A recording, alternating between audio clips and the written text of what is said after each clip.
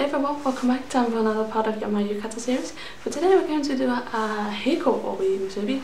Heko, I've got mine here, I just um, unlined, very floppy, I mean it's just one length piece of fabric. There's no um, back part, there is no, um, yeah, like I said, there's no lying in, in it.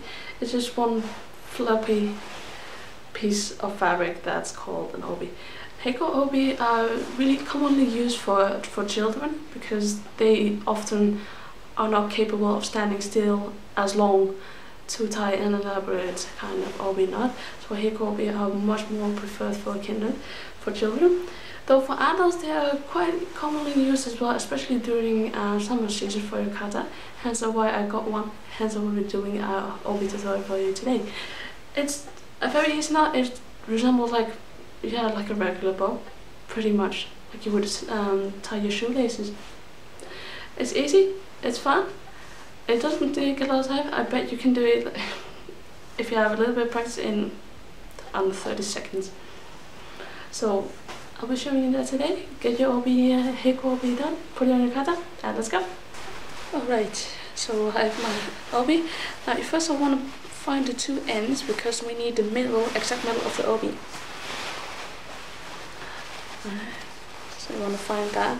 And consider that it will be quite wide. As you can see, you might want to fold it.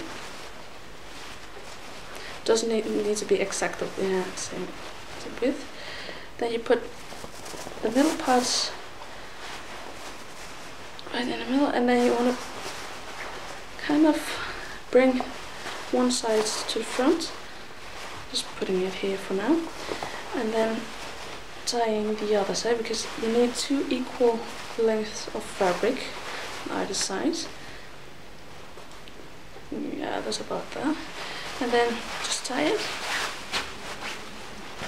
And again, looking at her feet, it is still the same. Yeah.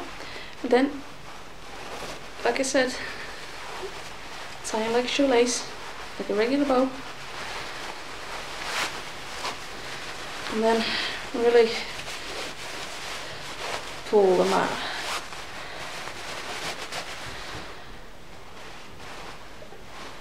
And that's almost it. It's not easy. Just fluff them out. Like almost. And leave the tails hanging. And that's it.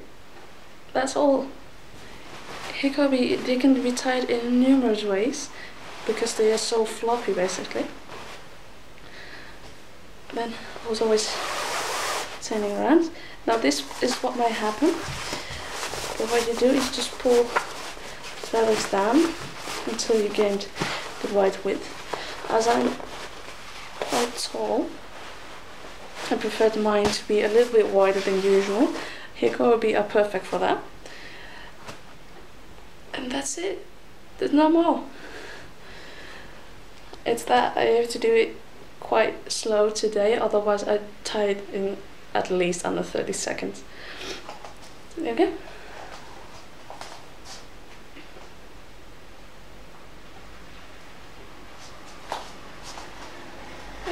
If you want me to do more Heko obi tutorials uh, then let me know.